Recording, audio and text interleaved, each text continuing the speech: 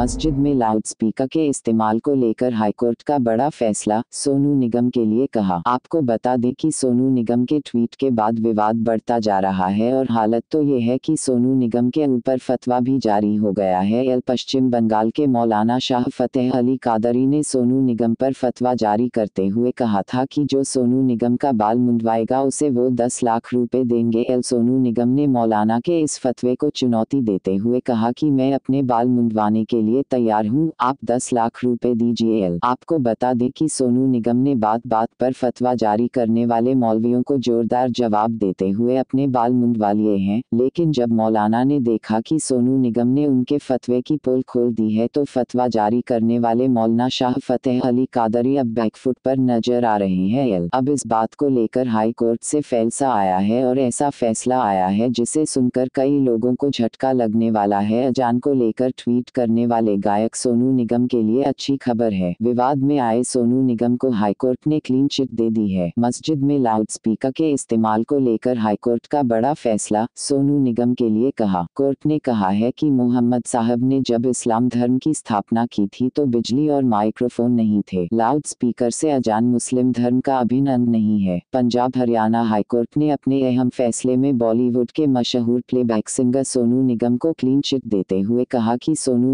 निगम के ट्वीट की समीक्षा से पता चलता है कि उन्होंने अजान को नहीं बल्कि लाउड स्पीकर के प्रयोग को गुंडागर्दी करार दिया था। हाईकोर्ट ने कहा कि सोनू निगम पर सोनीपत में रिप्रेजेंटेशन के माध्यम से लगाए आधारहीन आरोपों पर पुलिस को किसी भी तरह के निर्देश दिए जाने की ज़रूरत नहीं है। हाईकोर्ट ने आदेशों में कहा कि अजान मुस्लिम धर्म का अभिन्न अंग है और यह सुबह की प्रार्थना के लिए सभी को आमंत्रित करने का ज़रिया है। अजान के लिए सभी को बुलाने के लिए लाउड स्पीकर पर अजान को इस्लाम का अभिनंद नहीं माना जा सकता।